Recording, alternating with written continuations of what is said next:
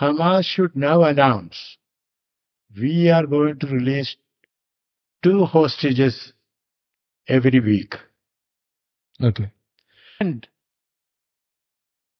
two non-Israeli hostages. And occasionally one Israeli.